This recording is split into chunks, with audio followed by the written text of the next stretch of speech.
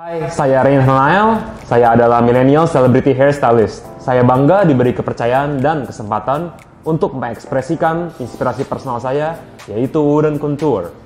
Di sini ada perpaduan warna coklat dingin dan efek marun yang warna hangat. Ini semua diinspirasikan oleh serat dan tekstur kulit kayu yang kokoh, lembut, namun tegas.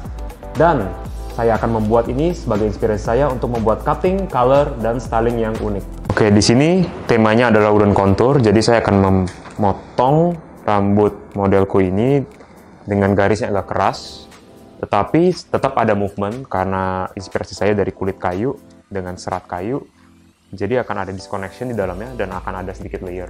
Nah, ketika saya sedang mencari titik disconnection yang terbaik untuk sectioningnya, saya selalu mengecek ulang ketebalan rambut seperti apa. Jadi disconnectionnya akan tidak tidak terlalu dikit dan tidak terlalu banyak. Karena kalau disconnection terlalu dikit, apa yang terjadi? Rambut atasnya akan menutupi disconnectionnya dan kalau rambut atasnya terlalu tebal, kita tidak akan merasa disconnection setelah kita buat. Jadi di sini saya sedang sectioning dengan pelan-pelan, dengan careful supaya rambutnya tersection dengan baik dan ketebalannya merata semua. Untuk panjangnya sudah saya tetapkan, saya ingin segini saja. Tetap ada long, agak long tapi sedikit oval dan rata. Kita potong agak oval sedikit.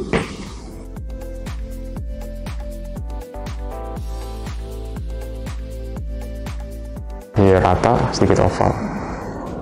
Saya akan ambil length inner layer seperti ini. Jadi nanti akan ditutupi oleh dia dan akan uh, tidak terlihat disconnection di dalamnya ini tidak akan terlihat. Di sini saya menggunakan curve scissors, uh, guntingnya yang agak bengkok, dan dengan teknik reverse.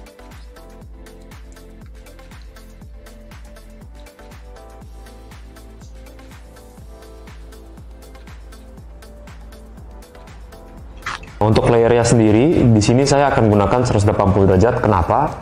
Karena saya butuh layer yang tinggi untuk memberikan volume dan movement yang paling maksimal. Nah, untuk rambutnya ini sendiri karena sudah ada disconnection, saya harus hati-hati untuk tidak memotong layer atasnya supaya tidak memotong dia punya outline juga. Jadi yang terpotong hanya sedikit, tetapi itu bermakna sekali di final outputnya.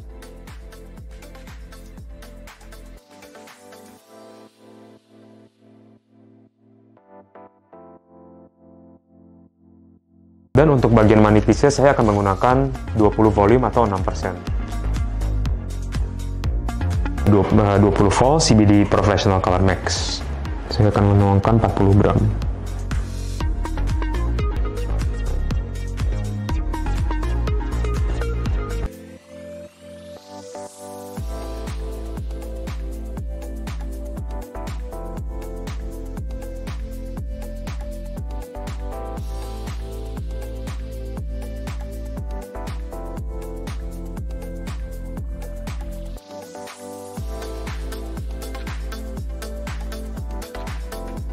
Untuk yang belakang ini sebenarnya tekniknya adalah one head bleach, tapi karena saya mau menyisakan akar, sedikit ada feathering ke atas dengan teknik sedikit freehand ya.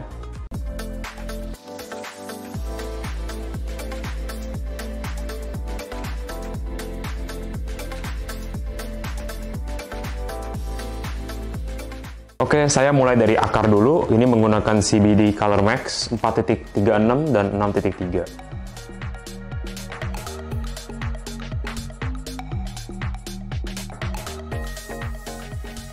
Oke, sekarang saya akan lanjut dengan teknik slicing. Setelah root yang sudah selesai semua, saya akan memberi efek highlight dengan teknik slicing menggunakan 6.2.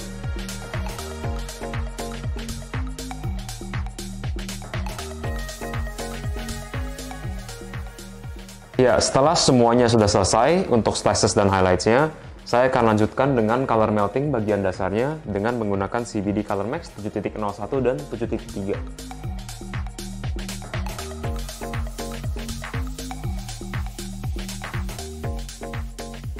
Setelah semuanya selesai bagian belakang, kita kerjakan bagian manipisnya. Ini saya gunakan 1261 dari Color Max dan 6.2.